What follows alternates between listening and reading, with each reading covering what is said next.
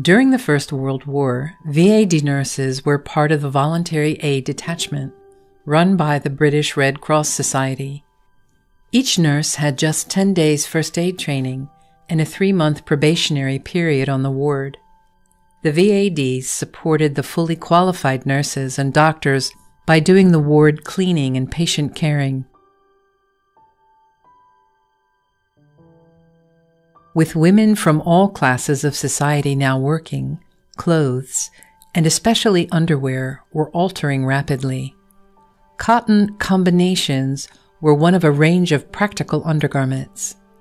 The colored ribbons could be removed so the cotton could be boil washed, and the linen buttons were flat so that the garment would survive being put through the mangle. The combinations buttoned down the front and were open legged for convenience. Black stockings were specified by the VAD uniform regulations. VAD nurses were expected to be smart and disciplined in their appearance, and wearing a corset was part of that well turned out look. Corsets were traditionally made with steel bones and busks to give them structure, but steel was now requisitioned for the war effort. Munition workers were even banned from wearing corsets with any metal for fear that the steel might generate sparks, igniting explosives. So during the 1910s, lighter styles of corsetry developed, and the corset evolved into something more like a girdle. The corset now fitted beneath the bust and came down over the hips. All sorts of ingenious techniques were employed to give it structure, with limited recourse to steel. Corsets were even promoted as back support for war workers. Just like the earlier corsets, they were front fastening, and the back lacing could be adjusted easily to ensure a comfortable fit. Perfume dusting powder was a small luxury that the nurses enjoyed. Makeup and perfume were otherwise not allowed. The corset often had elastic garters or suspenders to hold up the stockings, a very practical solution for hardworking women. The stockings were held in place by fastening a metal suspender clip onto the rubber disc with the stocking top in between. This held the stockings firmly in place. A waist petticoat completed the undergarments. The voluntary nature of VAD nursing meant that only women with a private income could afford to sign up. And for many of the nurses recruited, their uniform was the first time out of fashionable clothes into purely functional clothing.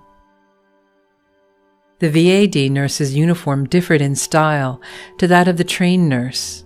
Strict dress regulations were set out by the Joint War Committee for both indoor and outdoor wear, and from 1915, the VAD uniform received protection under the Defense of the Realm Act. VAD dresses did vary a little, but they were always made from a hard wearing blue cotton chambray. They were long sleeved, fitted at the waist, and fastened at the side left of the front.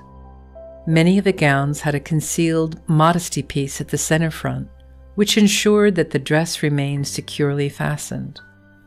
But there were no buttons or rough edges that could chafe an injured patient. The left side fastened closed with concealed hooks and eyes. There were plenty of pockets. Once the nurse had completed her three month probation period, she was expected to purchase or have made a complete indoor uniform, which included three of these dresses.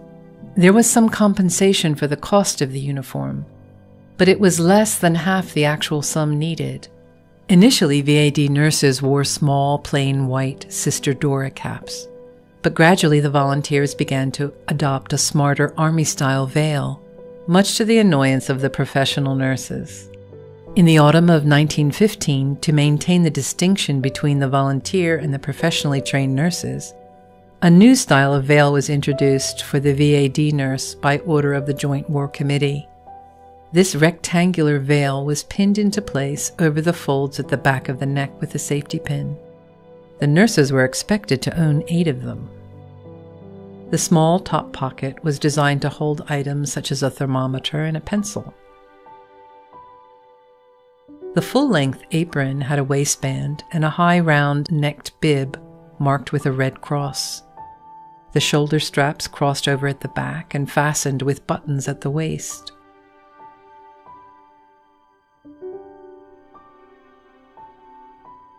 There were two large practical pockets.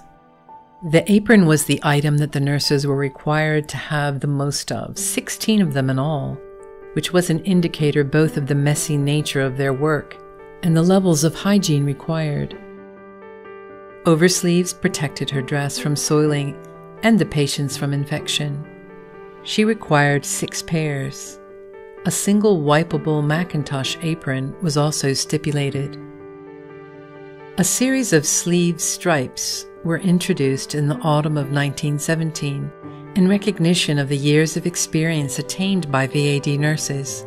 White stripes denoted length of service, and red stripes denoted that they had had at least two years' service in military hospitals and had been certified as efficient by their matron and commanding officer.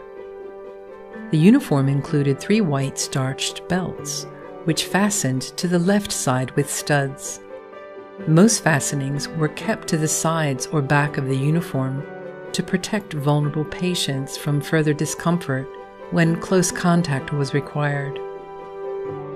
The nurse's uniform was also intended to emphasize purity and to provide a beacon of hope to patients and their families.